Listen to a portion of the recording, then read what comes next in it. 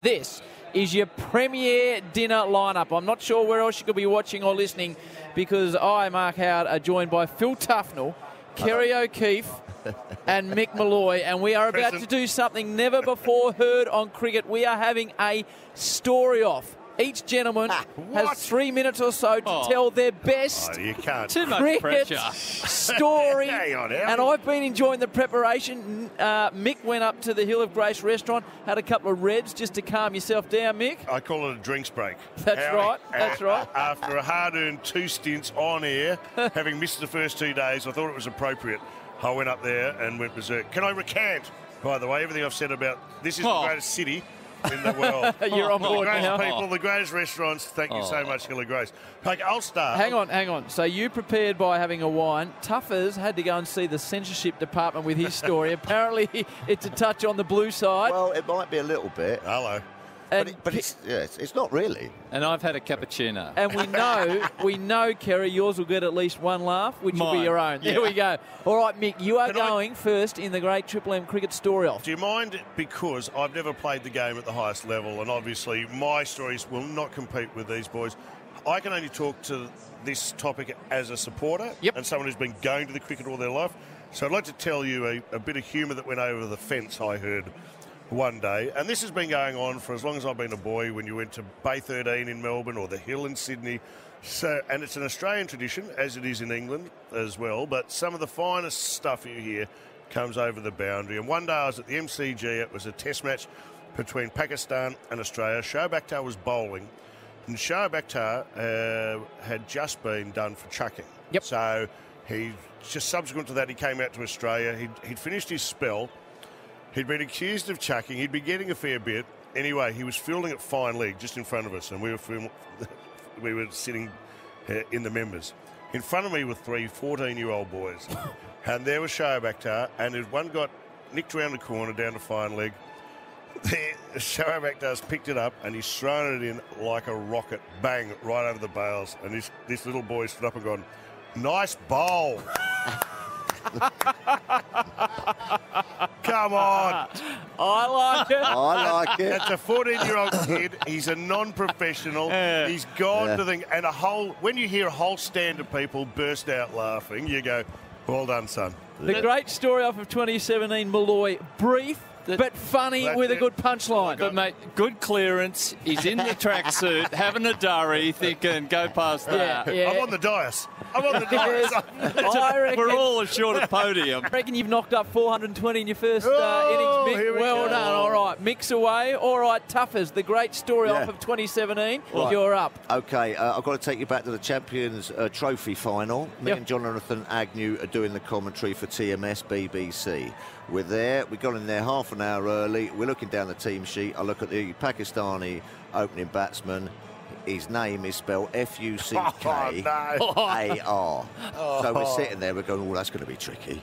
Oh, how are we going to do that? like that. Anyway, John says, "Well, not to worry, not to worry like that." So he comes out. He comes out. He is, he's opening the batting and he hits the first one like that. I said, "Oh, that's a lovely shot by sort of Fuukar or Fuherkar or something like that." Anyway, this goes on for about ten minutes, and then Aggers goes, "Oh, sod this. We just got to call it how it is." So he goes, "Oh, that's a fantastic shot through the offside by Fucker." You know what I mean? This goes on. Oh, it's, Fucker's pulled a beautiful one there. Oh, it's fantastic. So it's his name. What else It's can we his do? name. It's his name. we can't do anything else. Then he got to 19, and we're sitting there like that, and the commentary went. Jonathan Agnew was on the on the mics, and the commentary went, and in comes the uh, the Indian opening bowler, and it's outside off. So oh, oh, oh, fuckers nicked it. No, fuckers out. No, fuckers nicked it. Yes, caught behind. He's, he's caught behind. Oh, hold on a minute. No, wait a minute. It, it, it might be a no ball. Hold on a minute. Oh, it is a no ball. Oh, oh, it's a no ball. That means he's not out. What a lucky chap.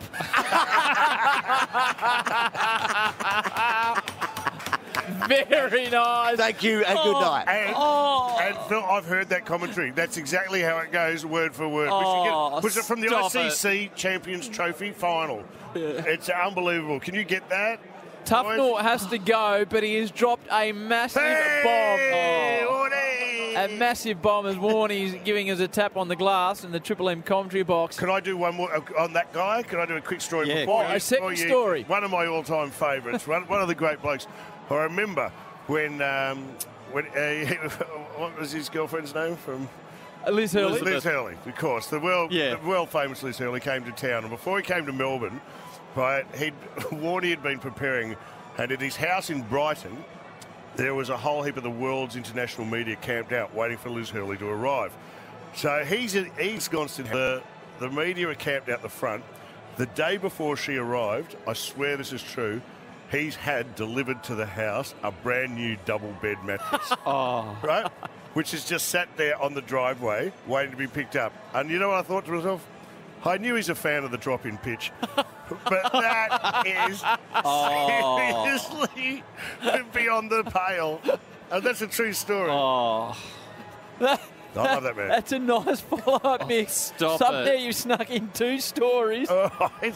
But but very very Clubhouse good. leader? Well, oh, definitely. No, I think Phil's got. well, Phil, I can't I've never heard Phil's, such foul language on the network, and I, I've, I've, I've got second and third place. yeah, Kerry, I Like must in say, pole vault, I've decided not to attempt at the first round. I oh. reckon you're chasing 618 on a Oh. fifth day pitch and you're five for 15. I got no chance. All right, Kerry. This is the great Triple M story off of Oh. 2017. Mick's gone with the mattress and Shoaib Akhtar. I don't often come third, but I'm a huge chance here. Tuffers has gone with the Barker story, is the only way of putting it, and you're up. I'm envious every time I walk into this box because there are first class centuries from wall to wall. Gilchrist, Emmy War, Yep. uh, Botham, Yep. uh, Gillespie. Gillespie. Three. I'm sitting here saying as much as Mick about first class centuries, zero. My highest first class score is 99 not out. Oi. Is it? Yeah. For Australia against Auckland in ni- February 1974. On, Auckland. On a tour at the Eden Park. I bat seven. Our team includes the Chappell Brothers, Redpath, Walters, Rod Marsh. Will I get a bat? Good Lord. 538. I'm walking in to face Bob Cunis. Neither one thing nor the other.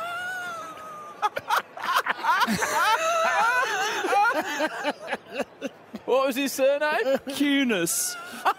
C U N I S. Stop right there, and you got the vote. No. Don't say another It thing. gets worse. I'm slow early. I'm slow in the middle. I'm slow late. At stumps, I'm 82 not out. There were 92 people in the ground. Ian Chappell says, Have you got a first class century skull? I said, No, I haven't. He said, I'm batting on to give you a chance. We're seven down. I thought, I won't run out of partners. The boys will be there for me. Five people turned up at the Eden Park when it was known I was resuming. Four were on a Mad Monday, and there was a guy there in black sunglasses, a Labrador, and a stick. After an hour of further blocking, the dog was yelling out, Have a go, you mug. and the owner was cocking his leg against the wall for a piss. I wasn't there to entertain, I was there to get a 100. I've gone from 82 to 99 in singles. In they come, the pissheads. Gary Gilmour, Court and Bowl Johnny Walker, four. Johnny Been on a bender.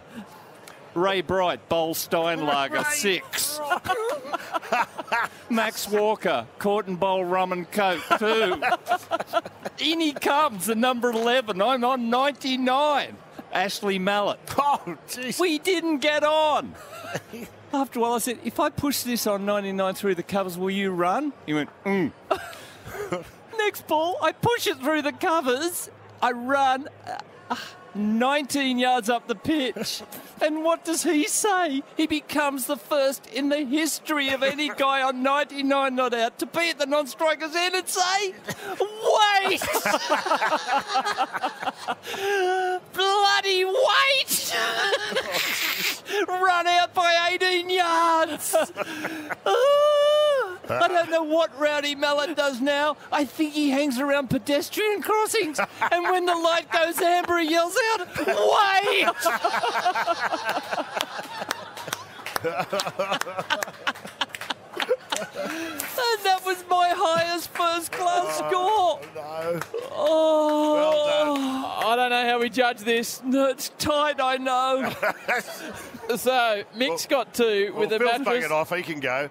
Well, I'm not comp- you got to be in the gotta give it to stadium to, man. to So, get on the podium. Uh, Phil went with the Farker story. Uh, Mick went with the Akhtar, which was very solid. Then backed it up with the mattress to go can double I, can I just to make a late play for it? Yeah. That was shortly uh, just before Shoaib Akhtar was out, and it was it was specifically out in the scorebook, out with genital warts. No, that's what they said. He wasn't picked. Out. Akhtar out, genital warts. And That's Skull. I, I don't think. Uh, what are we hands a show? I think it's a draw. Skull. It's got to be an all-way draw. It's a It's ten. got to be all draw. Hey! Warnie's, Warnie's walked in. Oh, he'll get the Shane goal by turning up. Uh, Warnie, welcome to Triple M. You've just missed the great uh, 2017 cricket down, story off. Sit down, Sit down. relax. I'm not sure I meant to be in here, but I just saw you blokes absolutely ripping in here. So I thought, how could I not be in here? That's for sure. I've just been defending you. Have you got your legal team at the back? Oh, that's no, not we- how I saw it. Attacked. Attack. I, I, I told the story about about you at uh, your house in Brighton the day before uh, your bird arrived from London. Your bird. My, my Elizabeth. ex-fiance, you mean? Yeah. Oh, just the bird. Hey, I've been to the hill. I've been to the Hill of Grace. All right, I'm coming right, down off a big one. Oh, yeah. it's all getting a bit better. So, but you did this, and it's one of the most Spit magnificent out, things I've ever seen. Was the you had the whole of the world's media camped out the front of your of your house, and the day before she arrived, true or false, you had a double mattress delivered to your house, which sat on the driveway out the front of your house. Well, it is true. Mick, Yes, it's true. Yes. I, I- uh, And I yes, was said. I knew he's a fan of the drop-in pitch. That's true. I thought the, the, the really the kicker was that the next door neighbours' kids that were about ten and twelve were selling cordial. and the people out the front of the house for fifty cents. Here, I want a glass of cordial here. Tony go. Greig was sticking a, a, a key into the mattress. Who, who was? I don't know. I don't know what I'm saying anymore. anyway, that was good. And the other bit I loved too while you're here too was Yeah, Ascot was always. Ascot. Which one? You like the bullfrog? Did you? I like the Wrap the bullfrog. laughing gear Oh, around the oh, I love it, mate. How are you going here? What do you make of all this? But don't worry about the cricket. Let's keep talking. What about some other stuff here, Mick? What, Well, we were rolling out the best cricket, funniest cricket stories we had, Warnie. I I don't know if you want to enter this late. We've been your very limited preparation. Skulls. There's- Everyone should just shut up and listen to Skull. Well, hey. Skull delivered his 99, uh, his Warnie. highest first class score. right. You had a beauty you told me the other day about uh, Phil Tufnell when you were, Yes. it, it was at Leederville in WA. That's correct. We beat England in Perth. And um, Phil Tufnell, I think he, on, on this station, he's been telling you exactly what sort of mental state he was in Yes. at that stage. And I remember we won the test match. We went in for a beer. We're all sitting around uh, having a drink, and there's this wheelie bin next to us. And we sort of thought, just make a bit of a noise, that wheelie bin. Next minute, the lid flies open. Toughness comes out with his sunnies on, fag hanging out of his mouth, and just said, Right, Governor, hiding in a wheelie bin. It was strange that he had to go to this special house after that. Just How like- long had he been there? I don't know, but Did he you lived in a him in? little. He lived in a little special house, and um, oh well, it was a bit of fun. It had a happy, had a happy ending. Uh, that's a good late entry from Warren. He's Oh, come well in unprepared and delivered a real sharp one. One of my favourite stories of Skull tells is, um, well, he's got so many wonderful stories. But I was once at a function and um, Skull said, they someone asked Kerry, he said, uh, "What did you think about Shane Warne and uh, his captaincy?" Do you think he should have been captain of Australia? And Skull went into this 15-minute um, wonderful uh, summary of my cricketing life, and it was something along the uh, the, uh, the lines that. He mightn't have. He would have been a wonderful captain between the hours of 9 a.m. and 6 p.m. but from 6:05 p.m. till 4 a.m., I don't think he was the right choice.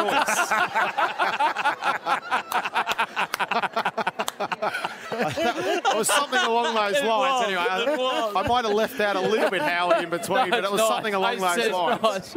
I'm glad you Once six it o'clock came, it was all downhill from there. Right. Uh, Hey. extraordinary. This was like Yes. a royal visit. Thank you for Yes. swinging Well, by thank you, yes, SK you, you can bow if you like. Oh, well, I will. How's But, everything? but I'm also quite prepared to take you up and just see how good you are after 6 p.m. Well, is that a challenge? This It's a game finishes challenge. at 11 Let's o'clock go. at night. We're right in the mixer straight Come after it. Mick.